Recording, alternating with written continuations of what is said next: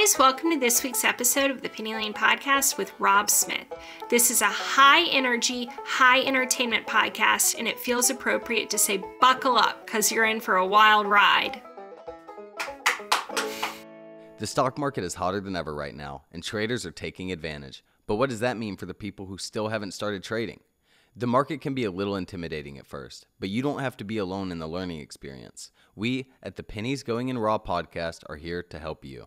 I'm Dan, and with my co host Hugh Henney, we make the stock market a fun but informative experience for our listeners. We offer knowledge for all levels of traders, from beginners to those who do it full time.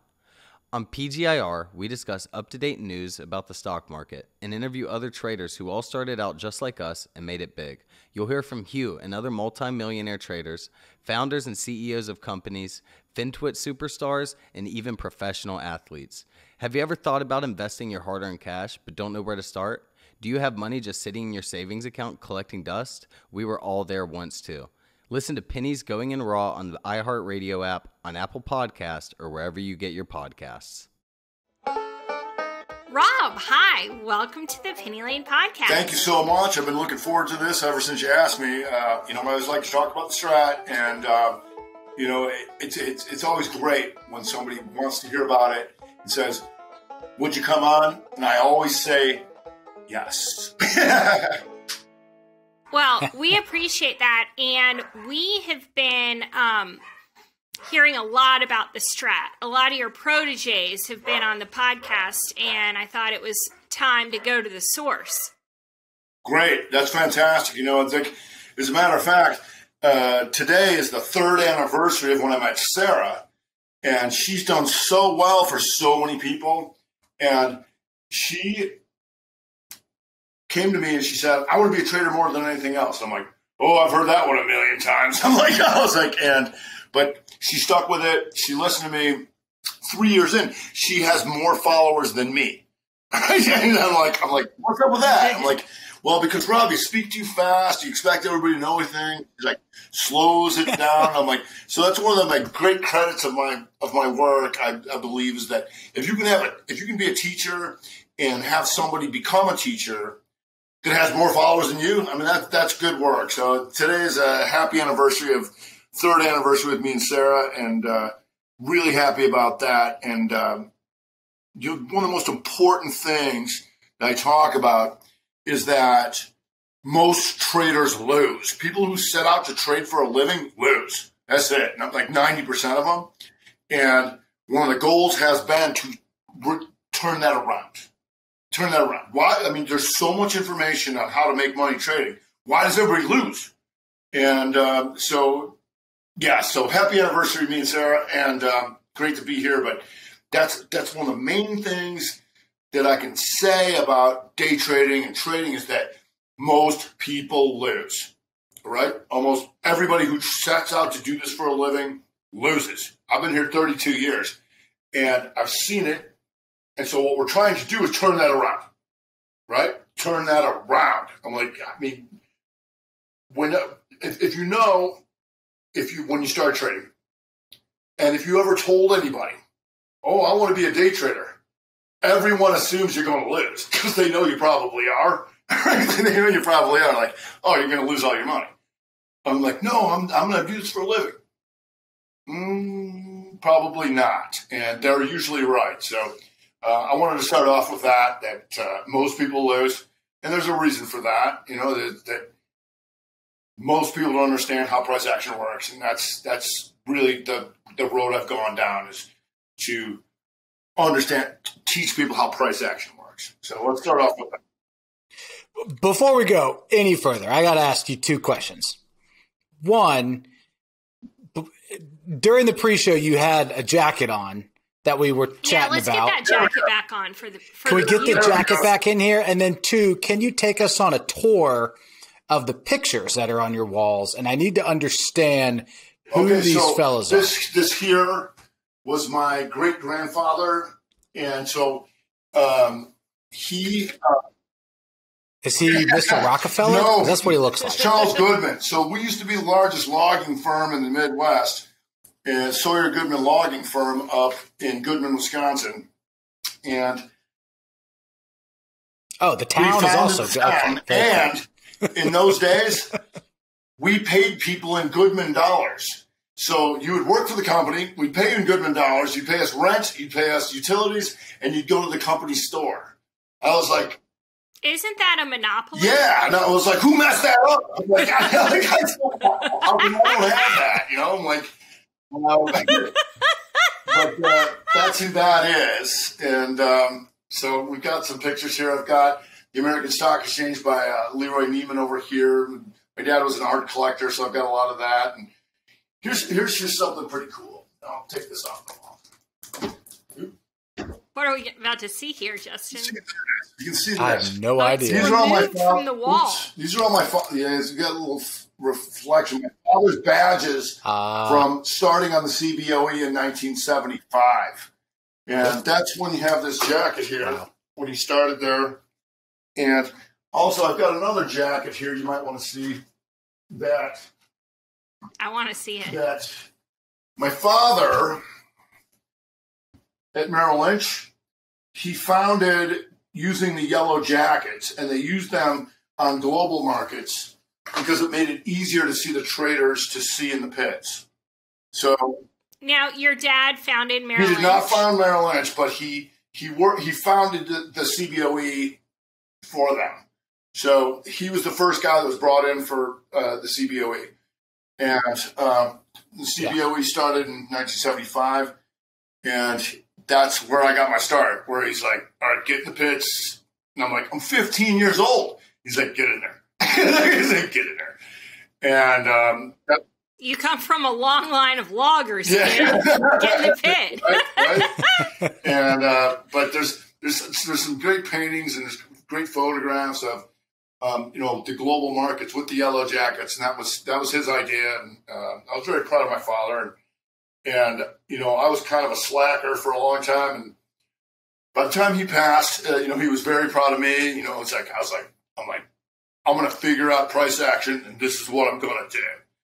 And he was like, wow, man. I'm like, I'm like, the strat's badass. I'm like, I did it. I did it. And like, it took me years. I'm like, I mean, like most traders, I blew out, got killed, and then stuck with it and be like, this is what I'm going to do. I'm like, I'm not going to go sell real estate. I'm not going to do anything. I'm like, I'm going to figure this out if it's the last thing I ever do. And one of the greatest credits too is like, you know, you might have bad times like an ex-wife, but my ex-wife, I spoke in um, Boca one time. She came down. She lives in St. Augustine. She came down with her husband, and I, I was explaining to people. I'm like, "How did you start?" I'm like, "By getting killed." I'm like, "And then what did you do?"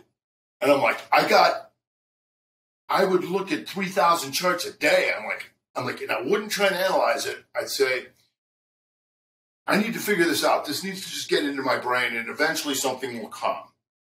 And it took me 20 years, but she was in the back and she was like, Yep, you did that. Yes, he definitely did that. He definitely, definitely did that. like, he definitely.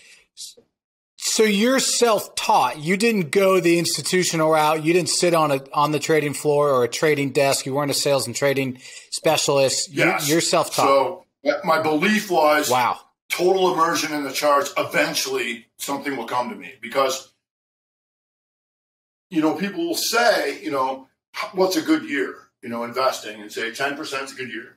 15, great. 20, 30, whoa. And I was like, there's stocks that do that every single day. I'm like, all I got to do is be right on two days and scratch the other days, and I'm going to crush everything. And I was like, so there's got to be a commonality to what happens, what what these look like before it happens, outside of earnings gaps and stuff like that. Things that actually open flat and then move. And that was really the basis of my study. I was like, all right, well, there's got to be something here. And took me 20 years, but I figured it out. And it's continuity, it's actionable signals, and so we're, we're doing it on short-term time frame as well as quarterly and, and yearly signals where most people a, a, big mistake for people for traders is only looking at dailies and intradays. And be like well that's all i look at. I'm like all right well if your signals work on those they should work on longer term time signals. And if they work on longer term time signals, then you can have the whole year to go after. Like last year, Ford to us was a two down, two up year over 950, right? There's 100, 135, 145%. Where you didn't have to do anything after that. There was also ads to that. And so what the strat does is it customizes itself to each trader. Right. So there'll be people that are looking at 401ks to build, they'll be looking at day traders and say, okay, it's all very similar. It's a matter of what time frame are you looking at and what are you actually looking to gain? One of the biggest mistakes that people have, or one of the biggest drawbacks that people have, is not being able to gauge how far something's going to go. And so I want to make sure I'm in the, in the camera. so, so magnitude.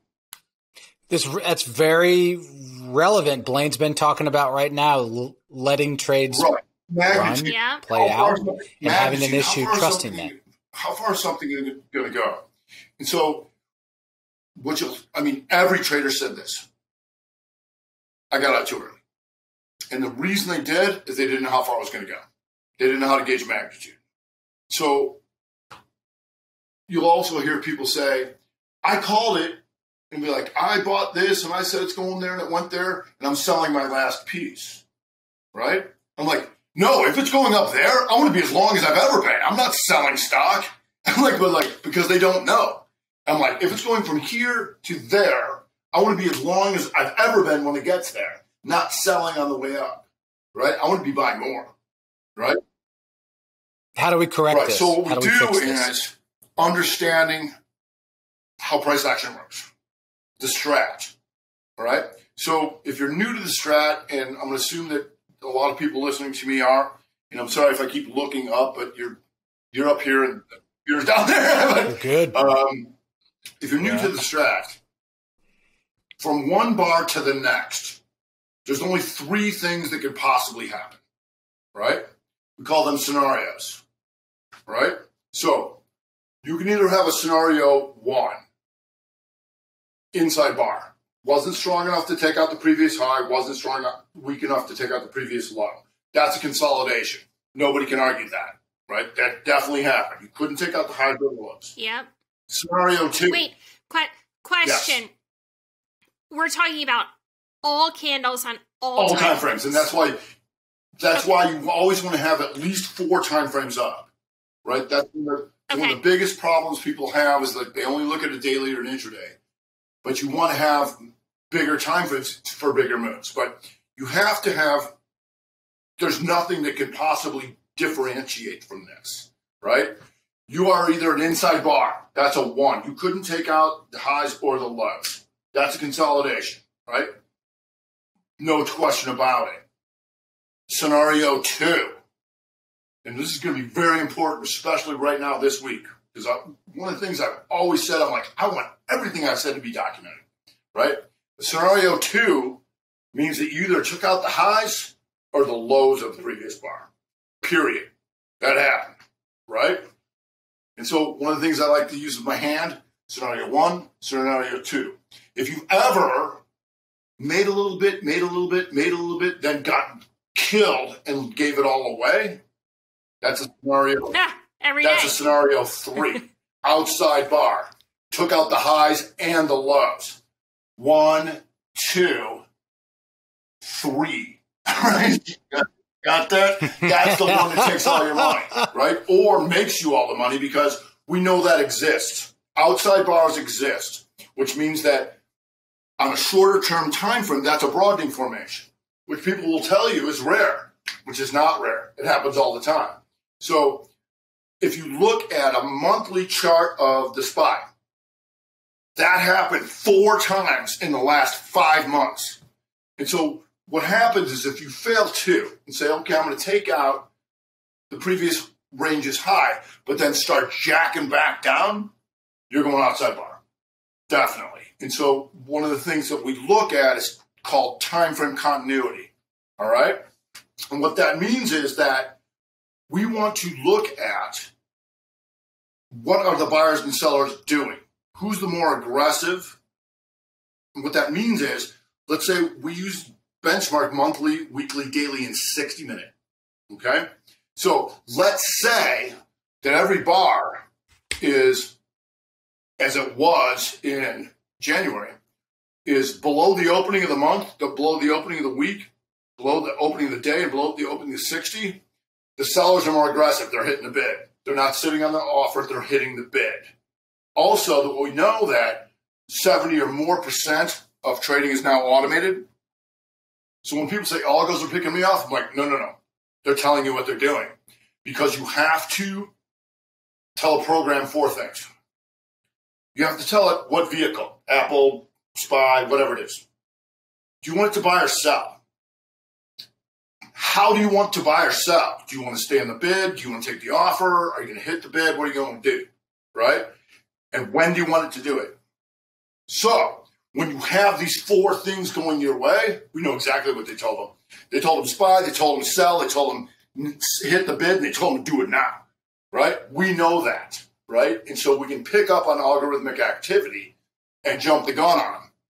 Also, because everything trades in a series of broadening formations, which is these threes that we know about, what you want is to come back through a previous range where people say that if you go into new highs, it's clear blue skies. I'm like, no, no, no, that's profit taking land. You want to come back to through a previous range because let's say, like this week, after a big sell off, almost everything's a two up on the week. If you it's going down, you're out of your mind. So it was going up, but when you come back to a previous range, we know that not only is algorithmic activity buying, are people buying, are they taking the offer, but they're coming through, back to a previous range, which also means people are getting stopped out. Do you know, what, you know why? Because they're stopped against where they got in. They're stopped off against obvious pivots, which turns them into buyers. Right? They're sell, they're, they're short, but that turns them into buyers. Therefore, when you have algorithmic buyers and people trying to buy, what that does is it re- removes liquidity. These guys can't get the stock because it's, get, it's just like slippage. So, so I want to make sure I'm in the camera. it's like it's like slippage. So the stops are going off. So the, these guys are trying to buy, but there's slippage because of stops, which are turning them into buyers, and that's why you're going to see faster things move back to the previous range. And that's what you're seeing right now. If you look at the SPY or almost anything, Qs, what you're going to see on the weekly basis was two down, two up. And we knew that this week, right? We knew that. And almost everything's doing that. And we have a lot of earnings coming out. And the wild card was SMH, right? That, that was difficult because it's it's got some range to go. But we knew AMD is coming out today. I haven't seen that.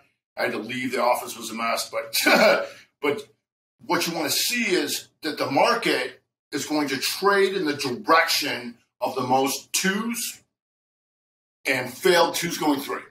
Period. That's it. I and I do this all the time. I run a scan and I show people how to scan, and I'm like, you don't have to guess. Like when people are like, oh, I think it's going to roll over. I'm like, no way. There's no like yesterday. No way. Everything's a two-two up on the week reversal. Everything's a or a daily. So, and I know people new to the strat. That's going to be a little confusing, but it's, it's, it's, it's important to understand that we all already know what winning and losing trades look like, right? Based on the scenarios and continuity. All right. Winning trades are twos in your direction with continuity. Failed threes going two, right? A one two in your direction. And losing trades are fighting continuity, twos against you, where people are trying to bottom pick. You can do it, but you need to two two back up. And that's what you're seeing in the weekly SPY right now. And I don't want to pontificate, take totally over, but uh, it's important that people understand this uh, because technical analysis failed. And there's no two ways about it. Failed. Because it had 100 years of people saying, oh, this is a thing, and that's a thing, and that's a thing. Well, then how come 90% of lose, traders lose? It failed. And that's just, just no two ways about it. So you want to be cut and dry, what buys look like, what sells look like, and then do that. And most importantly, risk management. That's it. I mean, you get out of your losers fast. That's it. and you and you want to add to your winners. Where people are like, I'm going to dollar cost average. I'm like, an old friend of mine used to say, if you dollar cost average correctly, eventually you own the company. like, it's like, it doesn't work that way. I'm like, where Cramer will say, you know, that, you know, as long as the story's still good, you can buy on the way down. I'm like, and you know what happens? Then the story changes. Oops, boom, done. Right? So you want to get out of your losers fast as soon as you possibly can. Be like, this is not working. It's not, you know, and a lot of people, one of the analogies I use, right? A lot of traders will do this. Is it's like being a bus stop. It's like you you you go through the charts and you say, okay, well, here's my two best ideas. One goes up, one goes down. You know what most traders will do? They'll sell their winner to pay for the loser and hope the loser comes back. And now crazy that is, that's like being a bus stop, getting on the bus that's taking you where you want to go. But you get off it, freaking out, you thinking it's going to go back the other way. And you get on a bus going the wrong way, hoping it's going to turn around and go back the right way. It's crazy. It's crazy. It's, it's wrong. It's like you get out of your loser, you stick with your winner, and add to it. So there's a little. All right. So set break here because two things. I don't want to interrupt you because I'm just on the edge of my seat of what you're going to say next or what analogy you're, you're going to use, and I like them a lot. But Blaine, how you feeling? How you feeling about the strat? So Are you overwhelmed? I'm, Do you have questions? No, I'm not overwhelmed. I mean, I kind of feel like it could be pretty life changing. Like, okay, it's real. Sounds real simple, ish. I mean, I I hope that's not insulting. It just like it you know how I always talk on the podcast about it if this then that system. Correct. It's yep. one of those. And you know I love one of those. Um and then just last night I was on a rant about uh, risk management as you know. Yep. So I'm feeling good. I I okay. uh can't wait to hear awesome, more. Awesome. So it also check. comes down to probability right? Why would this work? You always have to, you know, most traders are using things that are subjective. And so even when they're right, they're white knuckling it like, uh, you know, it's like, you want to know why, why would this work? How can I heighten my probability? Okay. So there's something called a simultaneous break. And what that means is that you can have a high concentration of signals in the same direction either by sector or by time. Okay, let me clarify that. So, what you've seen in January, you saw a high concentration of twos to the downside in growth tech, right? What is that telling me? That's telling me that institutions are selling growth, period. They, they didn't care what the stock was. They're not picking a stock. They're selling it all. Conversely, what was the number one performer? Not only today, but in January? Energy.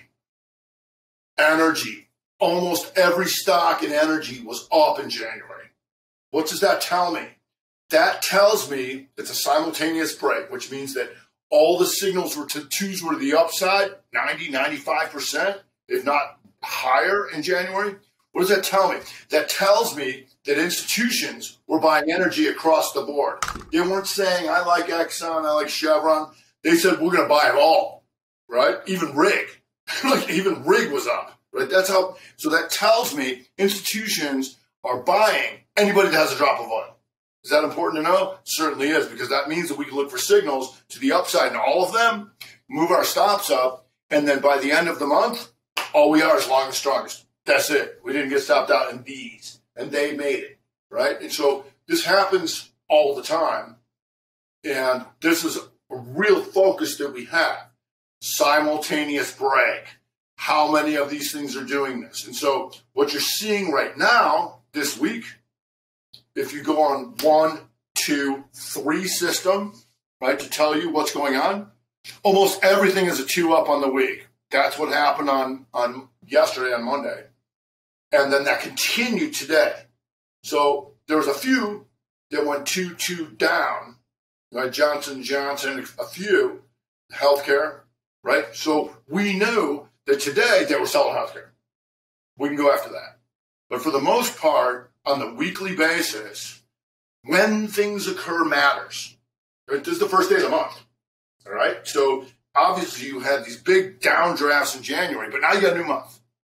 Right? That's important because now we want to know what are they thinking coming into and what are they doing coming into the new month. Right? And they went back in energy again.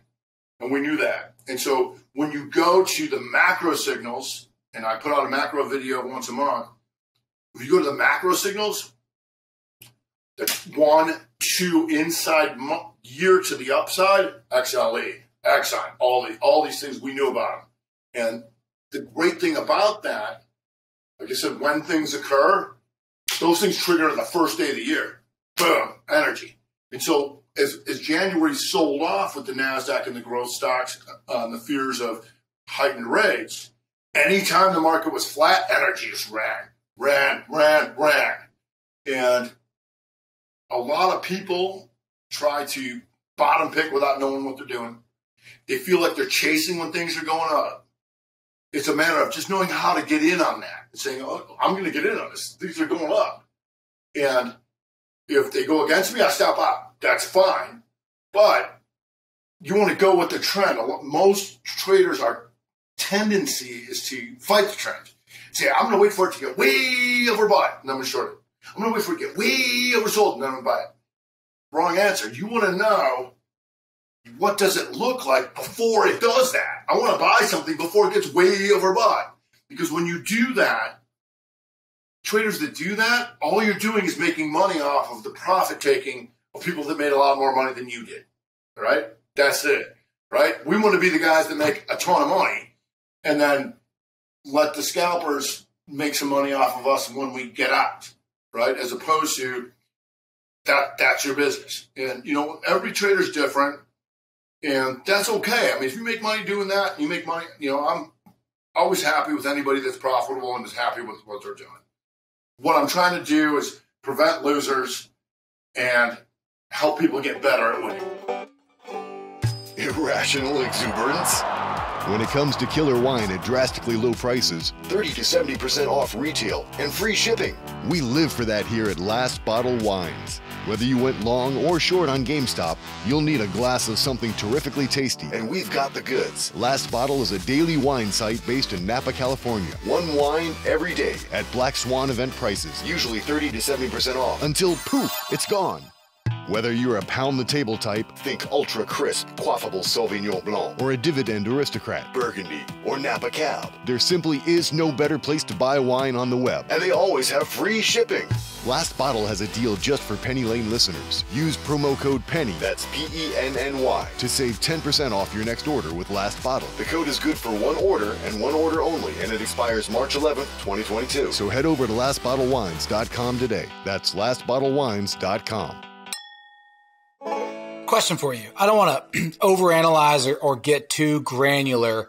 You had mentioned as you started, you're looking at four, four or five kind of time frames. But what we were just talking about, it sounded like the example was more kind of day over day. So are you taking swing trades or, or is there a particular type of trade? I mean, I, again, I'm assuming this works for all time frames, but it kind of sounded like we were talking about kind of swing trading versus day trading. Is that oh, fair or no? So we call the swing traders the tank division. And so with the macros, I'm like, I'm like, this is still good. XLE is an inside year to the upside. We got that all year. Ford was a 2-2 last year. And so there'll be people that stay on that. And uh, there'll, there'll, there'll be people that trade the one minute chart all day. And so the strat customizes itself to who individuals are. So when I talk to people. I'm like, I need to get into your mind. Who are you? What are you trying to do? Right? And, you know, there'll be a lot of times where people are just like, I'm just trying to make some money. I'm like, or I'm just trying to make some extra money. Or, you know, I want to do this for a living. Everybody's different. And so uh, I come on for an hour on Mondays uh, after the close, and I'm like, all right, I need to figure out who you are because I can help you. I just, I just need to know who you are you know, what does your mind do and what do you think? Because everybody, every trader is different, you know, and, and it's one of the biggest faults too is traders trying to be like other traders. Like, I'm going to follow him. I'm going to do all his trades. I'm like, no, no, no, no, no. What he does is probably not suitable for you, right? This guy's got $10 million. This guy's whatever he is. But who are you as an individual? How do you think, right? And, you know, what do you have and what are you trying to do here? And that's one of the most important things about training people in the strat is, you know, because people come to the chat and they're like, I want to be like Rob. I'm like, you don't want to be me, dude. like, just trust me. I'm like, you don't want to be me. I'm like, because what I do is might not be suitable for you. And I'm dealing with, you know, hundreds of people being like, all right, no, you do this, you do this, and suiting them with people that are similar to them and be like, all right, here's the guys that do this. Here's the guys that do this. Here's the guys that do this. And don't try and be a hero, you know, if, if that's not you. And, you know, and slowing it down one of the most important things I've taught people is about patience. You know, people come in, one of the biggest mistakes you can make is pouring through, being desperate and pouring through charts all weekend. You come in on Monday morning, you're like, yeah. I'm like, no, no, no, no, no, no. Monday morning we do the least. like, sit down. Like, we want to see what they do.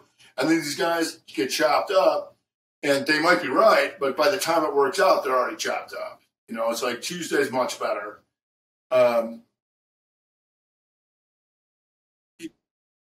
I want to go back real quick. I keep dragging us backwards. I'm sorry, Rob. But question is whether you're talking about play one or play two, we alluded to risk management. How does that work itself into one and two, right? Not three, okay. but one and two. Yeah.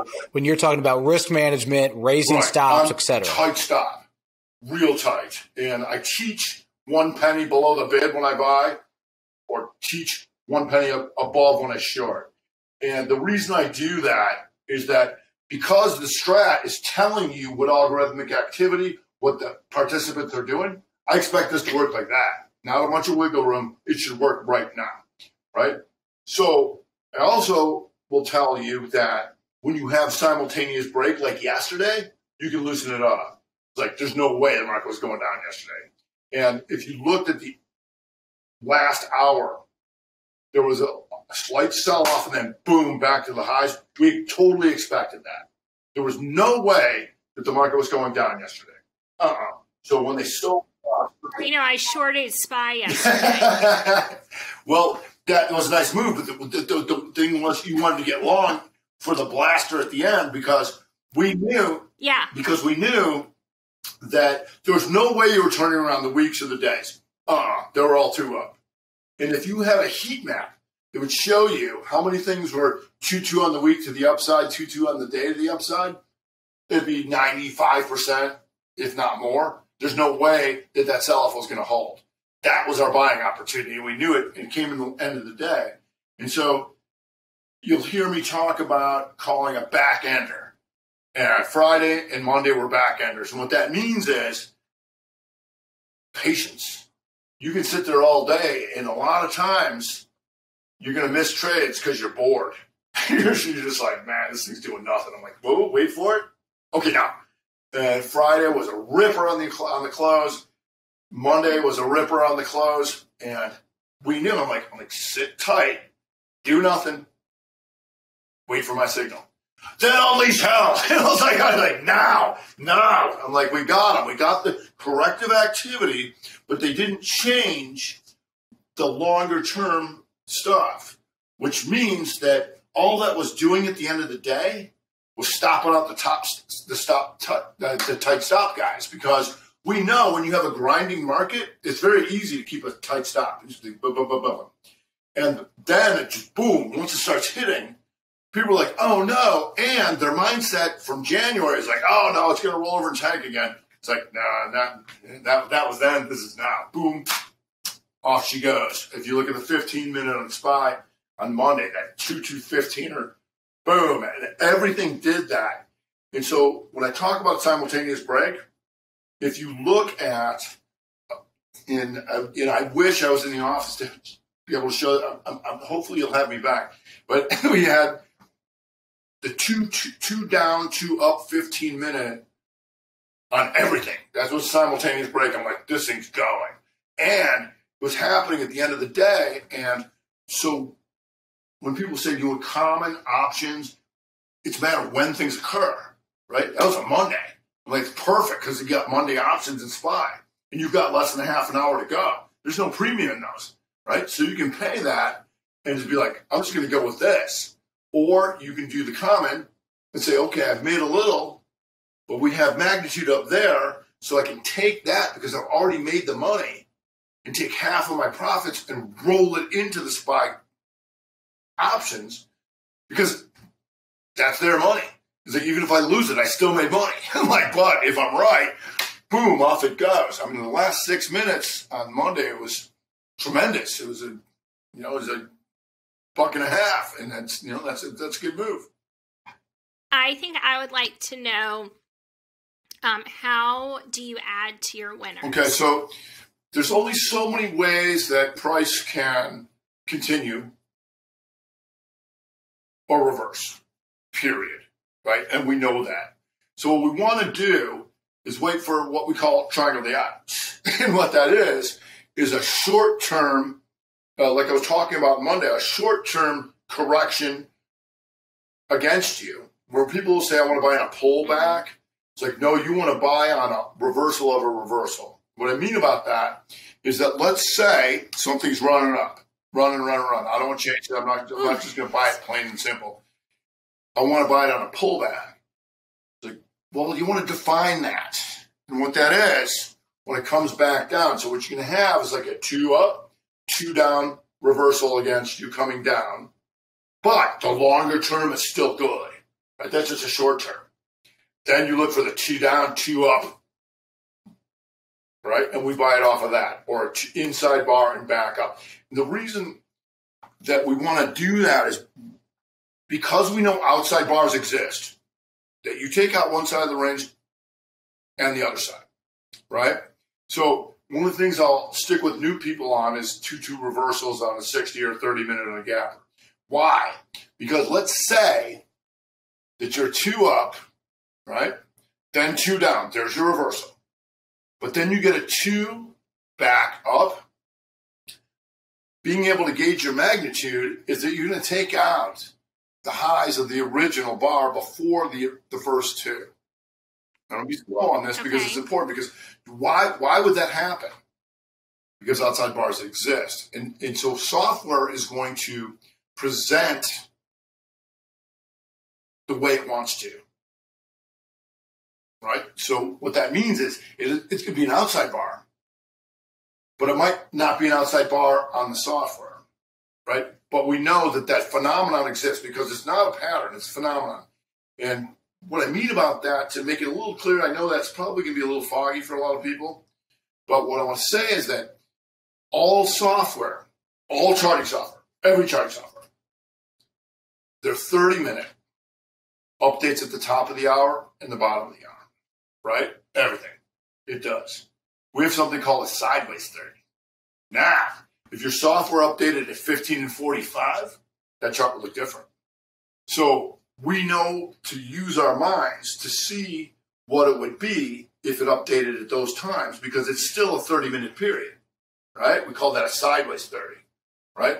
Most people don't know this either. You know, Dan Ushman, when I met him, he CEO of TrendSpider that put my signals in his uh, software after I met him the first question I met him, when I met him, I was like, does your 60 minute update at the top or the bottom of the hour? He's like, nobody's ever asked me that. And I was like, he's like, bottom of the hour. Right answer. So what that means is that you don't want to read a chart, you want to analyze data. What are they doing? What are they what are they doing? That's that's the whole cost of what I'm doing is like, what are they doing? What are the institutions doing? What are the big boys doing? What are the what are they doing? Right? We want to be on top of that. Right? I don't want to read a chart. I want to analyze data. So when you use time frame continuity, they are buying or they are selling, and they are aggressive or they are not. Period. And when you have the simultaneous breaks, they're buying everything. And that's where you go. Because patience is the key so many people have they just come in and they're like, I'm a trader, I got to trade. I'm like, hmm, I'm just going to sit back here. I'm, I'm going to wait. I'm going to wait. And then once once you get your sweet spot, then know how to cross your sweet spot. Period. Right? Because if if you're just sitting there scalping and be like, I make this, I make a little, I make a little, I make a little, like, know your sweet spot. If you've ever seen some of the most successful traders or companies, they've waited, and sometimes it's years. like, but for the most part, it's knowing your sweet spot and knowing how to kill that. Knowing to get out of your losers immediately. Because what that's going to do, it's going to mentally take you down, and it's also going to keep you out of potential winners because you're focusing on that. Also, losers can, people tend to ignore them and say, okay, well, like I said before with the analogy, I'm like, I'm going to take my profits to pay for this loser and hope it comes back. And then I'm going to trade other things and I'm just going to ignore it. Those are the guys that usually blow out on the lows and be like, all right, I can't take it anymore. I got to go. It's not winning. Right? Because another thing about staying in your winners, right, is that oftentimes people will also take profits because they're bored, just sitting there doing nothing. Like today when the market was up, and sitting there doing nothing, people will take profits because they're bored. And I'm like, still good. This is still good. Because just like losers tend, tend to get worse, winners tend to get better. And so if you can just, if you stick it out and say, okay, I'm, I'm not getting out just because I'm bored. It's like, it's still good. You know, it's one of the most important things uh, that I do with people. I'm like, they're like, well, you know, I got to go to lunch and blah, blah, blah. I'm like, still good. I'm like, you put a stop on there, and if they take you out, that's one thing, but don't sell just to sell. It's still good. It's still good. That makes sense. Letting it run. Yeah. So my question would be more along the lines of where are you coming up with these? So it's it's one thing to study charts like like you talked about, right? Hours and hours and hours and hours.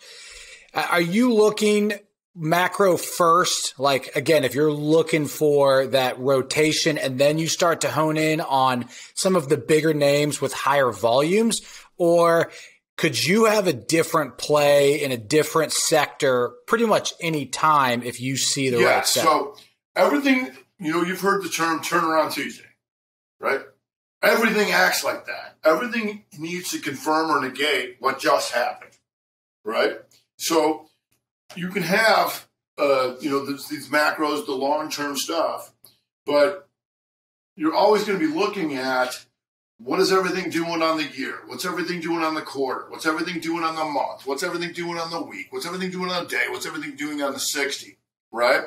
And you can trade that 60 because if everything's going to change, it's going to start off that 60. Right? It's that that would change that would do it, right? So it, like I said, it customizes yourself. 60 is a major signal, but what you always want to look at is is like playing pool. All right.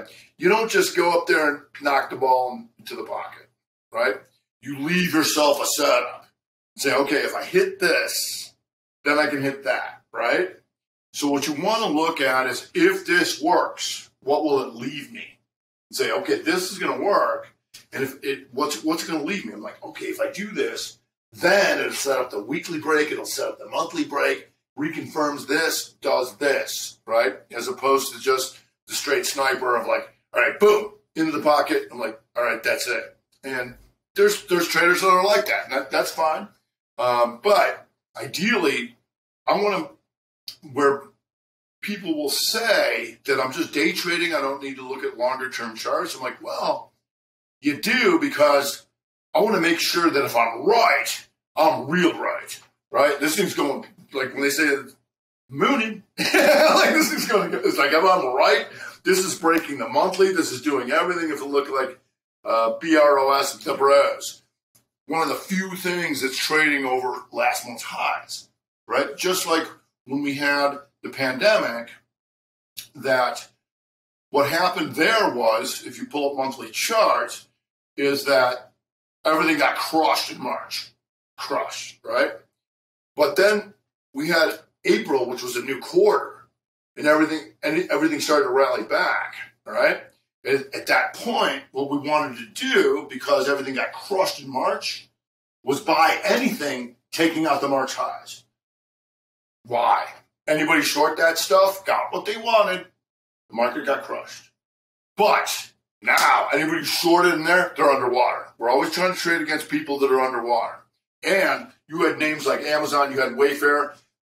The pandemic was actually good for them, right? So these guys were really scrambling, right? They're really scrambling. And if you look at those charts, the two two months going into April last year, then you also had the SPY was an inside month in April, but huge green. And that was a 2 1 2 inside bar reversal to the upside. We knew about that. So you always want to know that the direction of the market or sector, depending on what time it is, is going to trade in the direction of the most twos, failed twos going three, period. So I can scan for that and I will know exactly what's happening. If you were to have the ability to scan how many things this week are two down, two up on the week compared to anybody taking out last week's lows, it's not even close. And so that's why we knew yesterday for sure we're going up. Definitely. Today, there was no.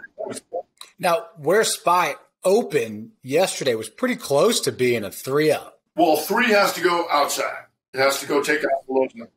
It was, cl- I know it didn't open there, but I was just looking at it. It had closed. Well, it, it, you know, it, it, wasn't there, but it was no, pretty close. That's why, that's now, why it started. I do a macro video over the weekend for the new month. I didn't do that because there were so many things that were close to 2 2 reversals to the upside on, on the week. And I was like, I don't want to get anybody tra- trapped on any quarterly downers. I was like, these babies going 2 2 on the upside. And so you have that in the Qs, the SPY, so many things. We knew that was pro- probable.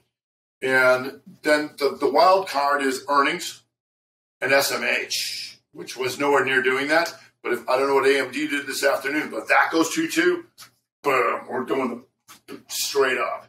Also, Tuesdays are important because, and it's not just turnaround Tuesday, it's, it's, like I said, every second period of whatever you're watching. And so on a Tuesday, what I want to know is what did they do on Monday? And did they come back and do it again on Tuesday? Or did they reverse them? So a two, two turnaround Tuesday would be a two in one direction to the other, right? That's a problem. But when I can see a two in one direction to the upside and they do it again on Tuesday, that tells me I've got pretty aggressive buyers. I want to keep an eye on that because they came in on Monday, they bought. They came in on Tuesday, they bought again. If they're going to buy all week, that's what it's going to look like, right? And so we can look at sector, we can look at stock, whatever it is, but uh, we're always trying to track what people are doing and who's in losing positions and have to do something. If you're in a winning position, you don't have to do anything. If you're in a losing position, you got to do something, right? And that's why the 2 2 reversal is important because if you're in a losing position, you got to do something you either got to get out, you've got either got to balls up and try and head, or you just ignore it. And but you got to do something. That's why we like to watch the gaps because when you watch a gap, you know that there's there's big winners and there's big losers, right? And watching gaps is important because if you have a gap in reverse, there's people that were long or whatever, let's say it's upside, they were long, and they're seeing their P&L evapor- evaporate, right? These guys are all hit and sell. Get me out of this thing. It's coming all the way back, right? So the psychology of it is always important because the longer you trade, the more situations you've been in, right?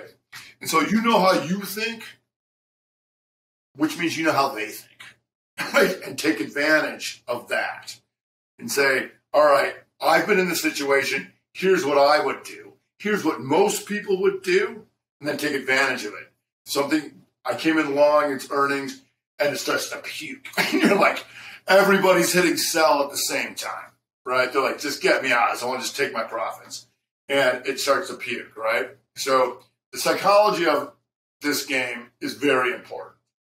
And the longer you've been in it, and the more you can distance yourself from yourself to recognize what other people are going to do and herd psychology,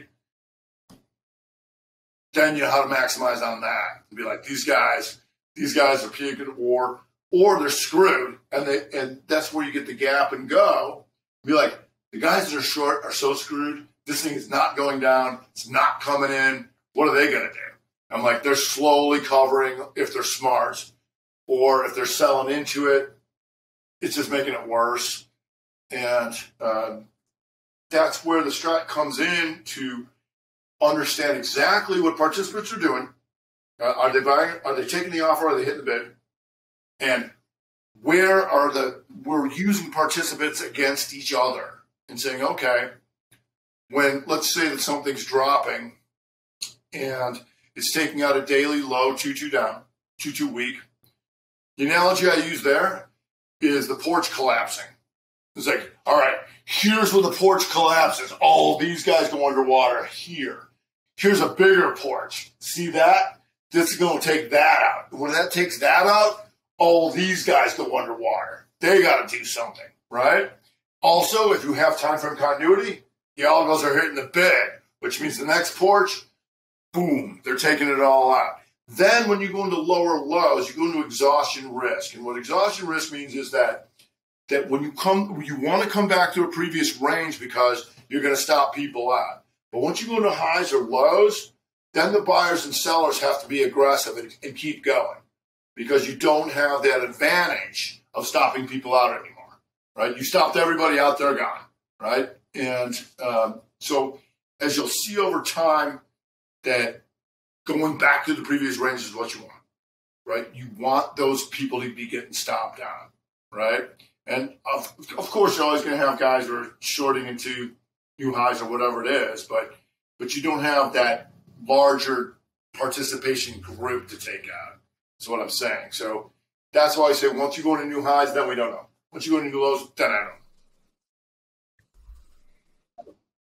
I love it. I'm a big advocate about the herd mentality. About if the market's already there, you're you're you're behind or you're late. I'm, it, it, it just makes the most sense. Like you talked about, if you know what your mindset is, then you know what their mindset is, uh, and that's crucial. I think that is it's really important. It's also what really gamifies stock market. It's really kind of what right. So we want to use the muscle that works for us.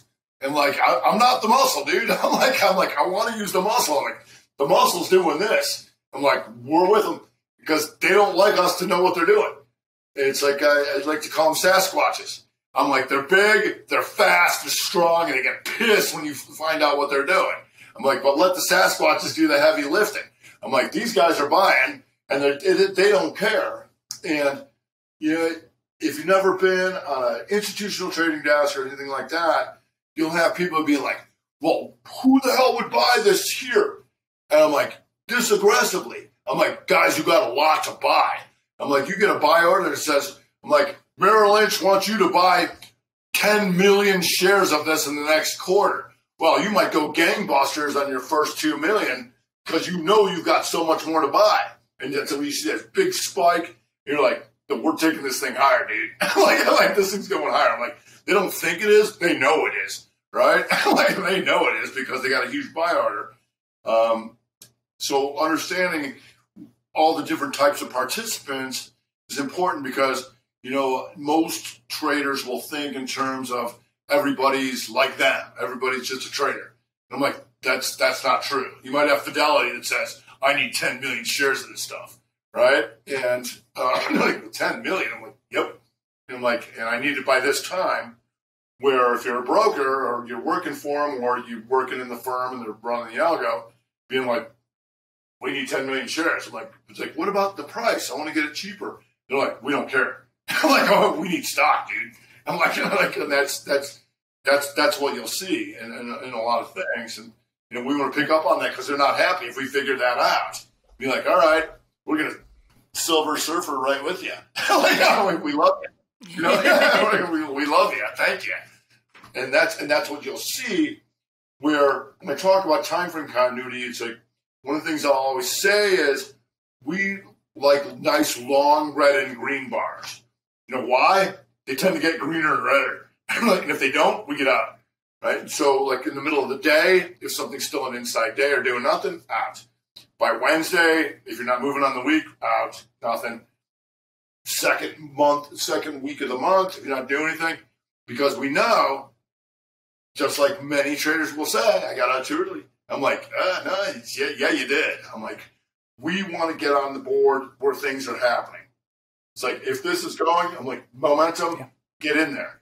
If it stops, get out. that's that's it. But where most many traders will say I got it too early, I'm like that's when I got in. you you got out and sold it to me because I say this thing's really going, and if it stops, I'm out. But right now, this thing, as far as I know, this thing, these guys are going gangbusters here, and I'm in.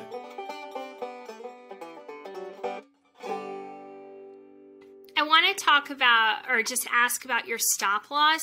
So it's essentially at break. Yes, real tight. And, so what we'll do is, you know, I teach that because when I, I've got, you know, when I teach people, I'm like, I'm going to make sure people don't get killed. When I teach people what I'm doing, I'm like, don't get killed. You might get chopped up. That's fine. But I have to know your understanding of what we're doing. Right. And so for myself, I know that I can loosen it up during periods of simultaneous break. And sometimes I think people would get almost annoyed with me for my patience. And I was like, nah, mm, nah, no, no, no. Because I know when it's time to dogpile, it's time to dogpile. Now. And so when I'm on the headset talking to people, I'm like, I'll be like, nah, mm, maybe, yeah, it could work, and that's going to do that. But then they know when I'm like, it's on now. and like yesterday, I'm like, there's no way the market was going to sell off outside of what we got at the end of the day. And I was like, wait for it. This will do it. But the market will trade in a direction. If you had a heat map of how many twos are in the same direction, that'll tell you what's going on, period. Right? And people like, oh, I'm scared it's going to roll over and all that kind of stuff. So stop losses, because the strat is very precise, can be very tight. Um, simply because we know what's happening. If we if we get stopped out, or the hardest part for people is to get back in.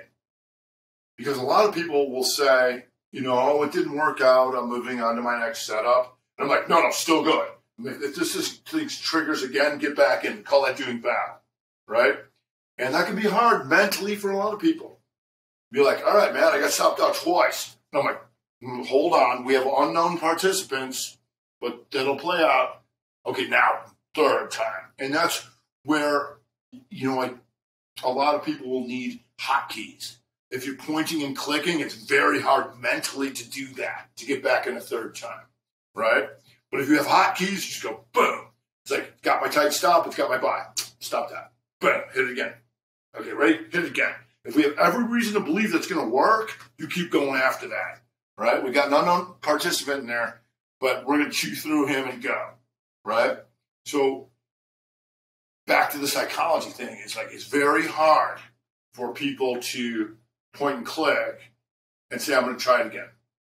Very hard, right? So we want to eliminate that as best we can. Hotkeys do that, you know, because if you got there and keep pointing and clicking, it's exhausting. Uh, it's just uh, is just tough. It's tough, tough to do. And like I said, it's like most traders will say it didn't work and I'm going to move on to my next setup and blah, blah, blah. But if we have a setup that's good, we do battle. And that's, that's, it's hard, but, uh, I'll get, a, I'll get them in there. I'm like, do battle. Like we are going to win this. We're just getting, we got an unknown participant. He's going to go away because all the other things we know, eventually the big boy's going to muscle this guy right out. But that's how. What's your win rate? Well, the thing about ooh, lost my dad's thing here.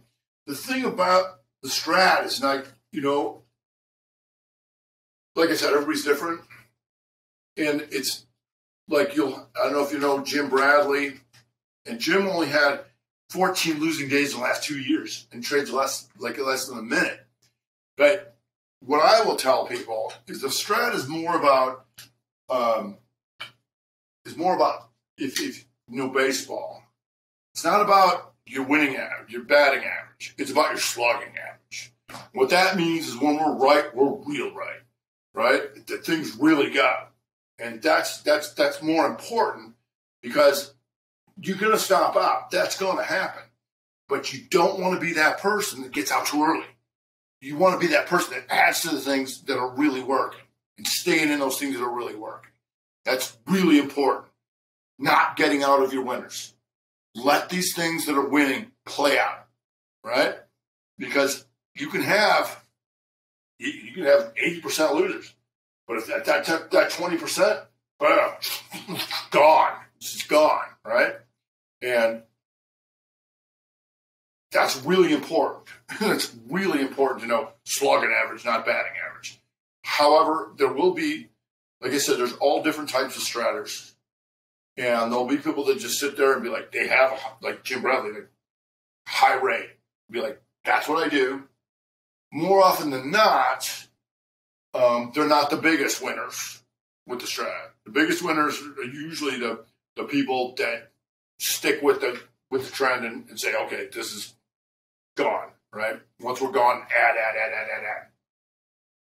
So everybody's different, but your losses are small. I mean, if your stop is as tight right. as it is, right? It's not like the loss. I mean, you may have, you could have quite a few losses if quite a few trades go against you, but on aggregate, the dollar amount of that, right? Especially right once they so. eliminated, you know, many places eliminated commission.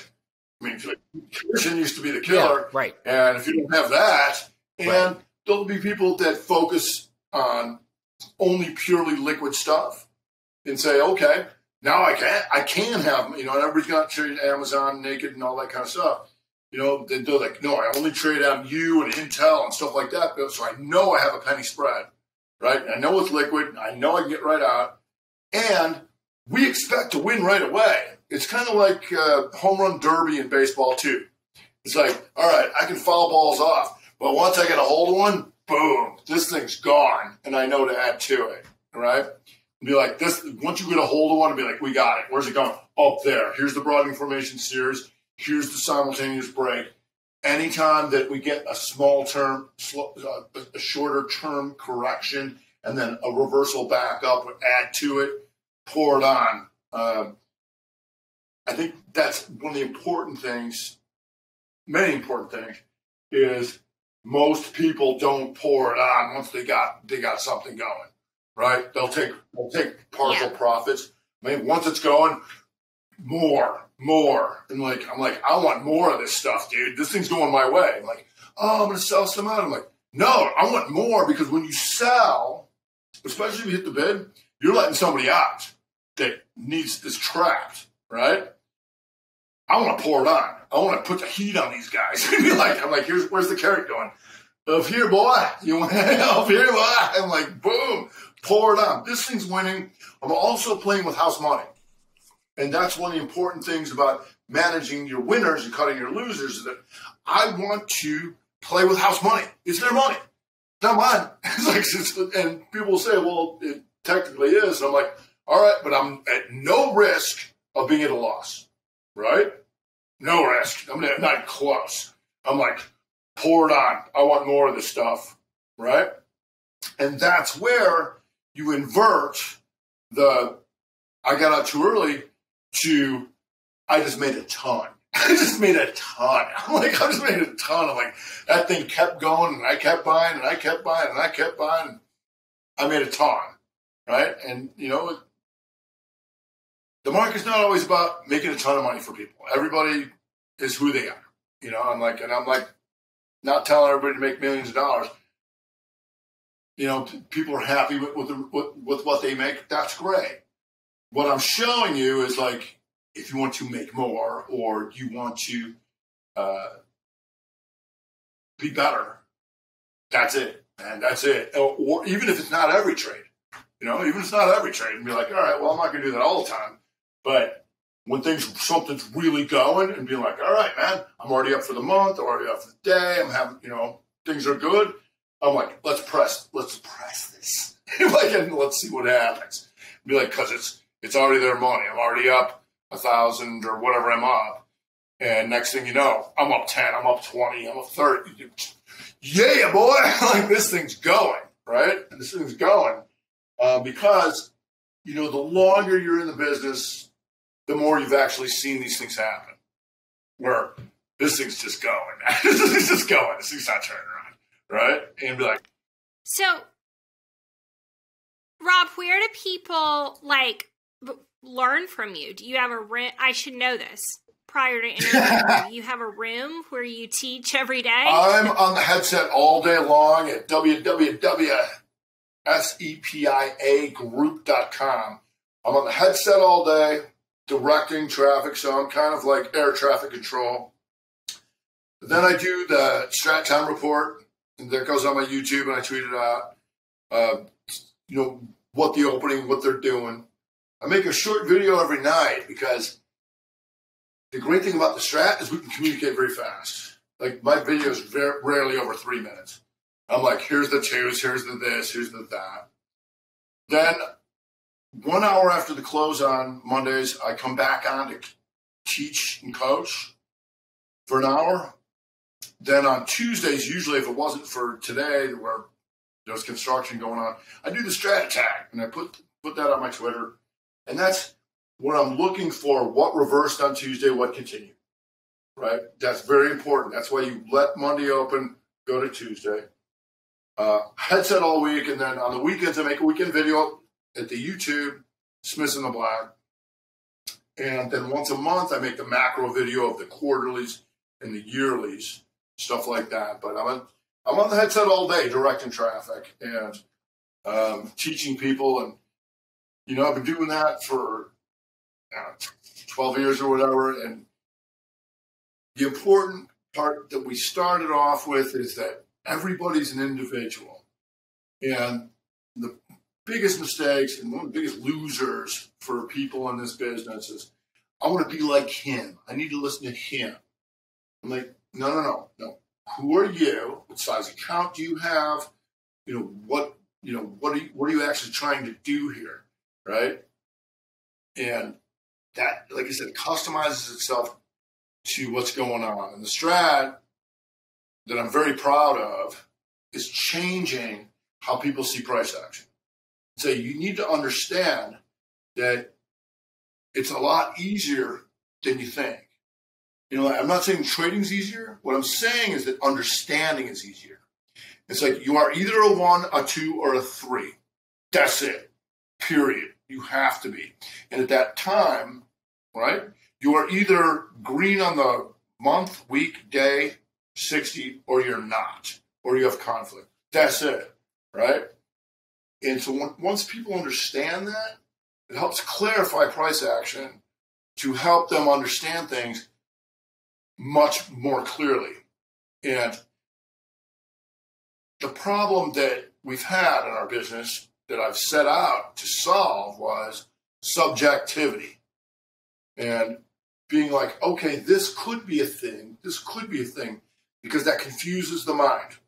Where people are like, oh, well, I I, well, I'm trying to figure this. No, no. It's either one, two, or three. You have continuity or you don't. Period. That's it. And that's what gives you confidence when you trade, saying, I know what's happening. This thing is going three. Why? Continuity said they buy it on the 60, they buy it on the daily, they buy it on the weekly, and they buy it on the monthly. And it failed two, and it's coming back. And that happened four times in the last five months in the spot, and we knew about every one of it. So, confidence is what you need in trading. Being like, I know why this should work. Like, that's period. That's paramount. Like, I know why this should work. If it works, I know where it's going. Going up there. like, are you sure about that, Rob? Yes. Because if, if it's not going to go there, it has to have a reversal against you and we know what reversals look like two up, two down, two one, two, inside bar back down. That has to occur. Failed two, going three. That has to occur. If that doesn't occur, you're still good. And that's how I keep people in the winning trade saying, you don't have reversal against you. Why are you getting out? I'm like, well, you know, I'm bored and I get profits. I'm like, still good. First down, first down, first down. well, Rob, while we were uh, recording this podcast, you now have another subscriber on your YouTube channel. Awesome. It, subscribe, Smiths in the Black on great, YouTube. Great, great, great to have you. I'm like, I'm so glad to be here. I'm like, and you know, I was like, always so busy, but I'm always like, you know, I'm like, anybody wants to talk about strat, I will do it. Um, you know, I will do it. I will share it because helping Yeah. people is what I do. Uh, you know, like a lot of people will be like, oh, and I make all this ton of money and you should listen to me. And I'm like, no, no, no. Listen to me because it will make sense to you. All right. And that's what you want. Right. When it comes right. to trading, like you want something that makes sense, Yeah. not follow the leader. Like, does this make sense? I'm like, that makes total sense. I'm like, okay then. Now you're on your path. Now you know what to do. Right now you can start to know what you do because you, if you, you know, your trading has to make sense, right? And to me, for 20 years, it never made sense. And I'm like, I got to make sense of this. And then what's even more difficult is teaching people, right? They have, they have, it have to make sense. Like, you know, you'll see a lot of people saying, I called this and I called that and blah, blah, blah. I'm like, look, I've been doing this a long time. If you can't tell them exactly why to get in, exactly why it's going to work, exactly where the stop is, it's regard, it doesn't matter. it doesn't matter what you said. They need to know exactly what to do, right? And so with the strat, you know exactly what to do. Take that 2-2 reversal, your stop goes here, here's going up there. You need this, this is why that's going to work, that's why that's going to work. And so some people are savants, they just get like that. Other people, it takes a while, and I'm like, that's okay. Don't worry, you're on the right path.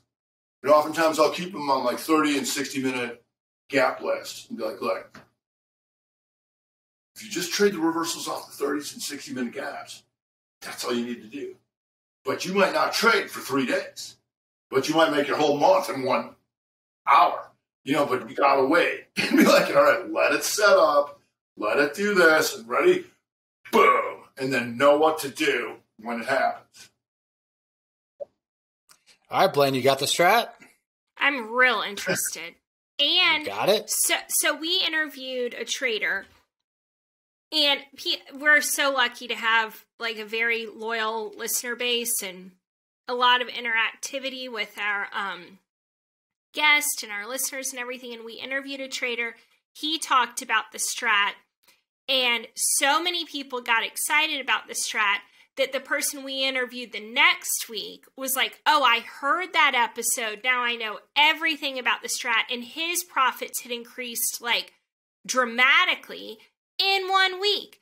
And so what I needed was someone to explain it to me. And I'm like, I got to go to the source. I got to have, I got to the main guy explain it to me. Um, I'm real intrigued. I think I'm going to join your list. Awesome. No, that's great. I was, I was very excited when you're like, Love it. oh, I'd like to have you on. I'm like, definitely. And because one of the things I'll, I'll, I'll say is that that when people say you can't teach an old dog new tricks, I'm like, one of my favorite guys, the guy that got it the fastest, Danny Bones, trader on the CBOE for 30 years. And he came and sat next to me in my office. And if you're ever in Chicago, please, anybody, please come see me in the office. It's always open. Door's always open. But he came to the office and he's like, all right. And he sat next to me. He said nothing. And I was like, see that? That's a 2 2 reversal off of that. See that? That's a reversal there. See that? After two hours, he stood up. He's like, I get it. he's like, he's like, and then he said, after 30 years, like, I thought I knew how to trade. I'm like, I had no idea. Now he helps educate and trade. And it's like, but uh, that was that was really funny. So, but if you're ever in Chicago, I, mean, I always tell people like doors always open. Come sit next to me. We, you know, all that kind of stuff. But you, you, it. you can teach an old dog new tricks. It makes sense to people is what's really important.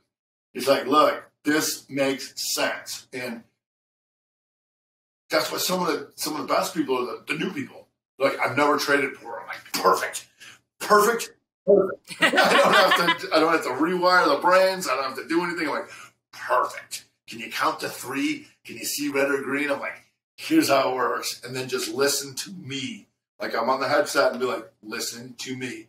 So yesterday, like the market was going, I was like, it's like, hey Rob, do you think the market's going down? I'm like, ain't no way this market's going down. No, no. Look at the stop. Look at the stop, the twos on the week and the day. There's no way. So if you watch my weekend video, I talked about all that kind of stuff. Um, but that's what you want to know. What's the amount of twos in each direction? Today, you know, we got bored, but I was like, then we went out on the highs, I think, but it's like, it was like, there's no way, there's no way, it's not going down. It's like, you have to have twos against you. You have to have these things against you. If you don't have that, not going down, right? And then we'll monitor the 60 minute basis and say, okay, if we are, well, the 60s would have to break first, right? If they're going to trigger everything else, that would have to break. But if that doesn't break, ain't happening. Ain't happening. And then the great thing is that we have also, you know, short-term options. You have SPY and Qs having Monday, Wednesday, Fridays. And so when you have these moves that set up, uh, you know, later in the day, there's almost no premium in these things, right? And because we know how to gauge magnitude, like I said, two down, then two up is going to take out the highs of the previous, whatever was previous to that too. Then you can go to those options up there later in the day that have like no premium.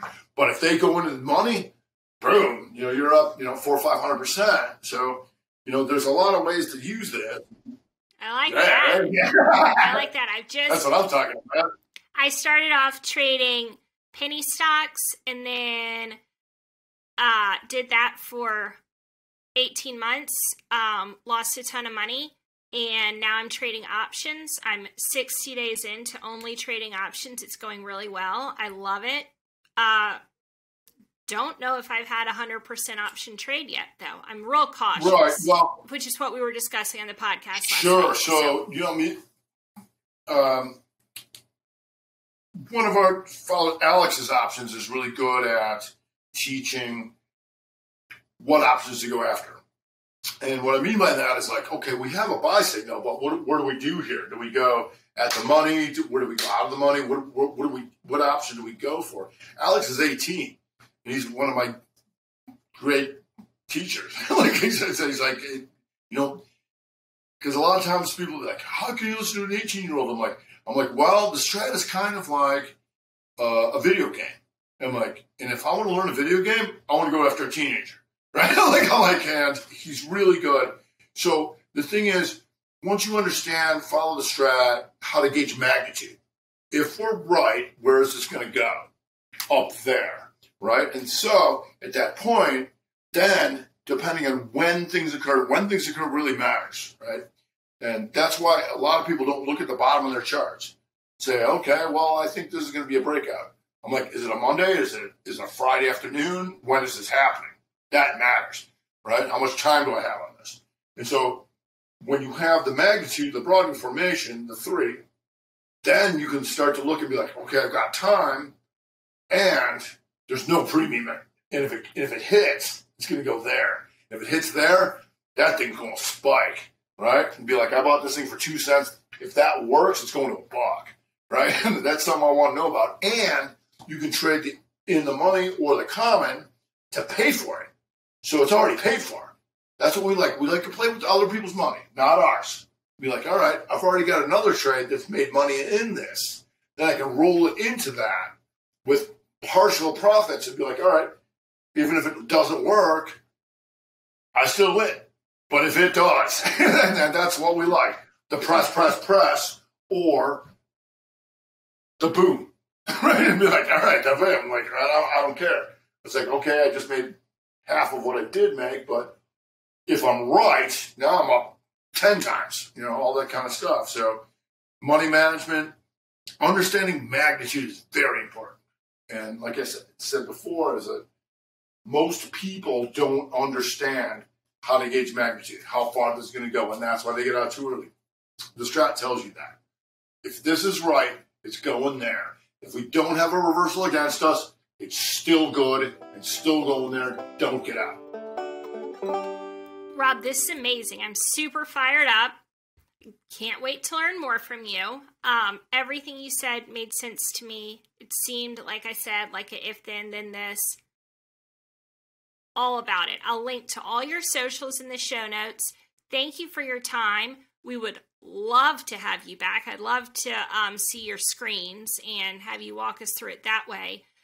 Big fan, huge fan. This was a, a refreshing podcast, and honestly, I've got my Diet Coke here. I came into this podcast a little tired. We've had kind of a grueling week here at the Penny Lane Pod, and uh, I'm not feeling that way anymore. I'm like, shouldn't have had that Coke. Feeling amped. oh, well, thanks for having me. I look forward to coming back, and um, you know, I like meeting new friends and um, talking strat. yeah. Cool. Well, we'll schedule another one. Thank you so much. Awesome. Thank you for having me. Thank you so much to our producer Joel Edwards and Chesley Lowe for the banjo music. Guys, it's the middle of February, which means you have about one month left to use your 10% off with Last Bottle Wines. If you don't use this, I don't even know what to tell you. It's changed Justin's life. He's getting wine yesterday, today, tomorrow. The service is fantastic. You get discounts on amazing bottles of wine, pre selected, highly rated. Guys, order the wine. When you use our sponsors, you help the podcast, and then we can really keep this thing going. Discount code is Penny, P E N N Y. You get 10% off your order. It's good for a one time use and it's valid until March 11th, 2022.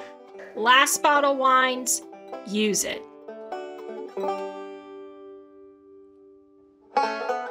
By accessing this podcast, you acknowledge that the Penny Lane podcast makes no warranty, guarantee, or representation as to the accuracy or sufficiency of the information featured in this podcast. The information, opinions, and recommendations presented in this podcast are for general information only, and any reliance on the information provided in this podcast is done at your own risk.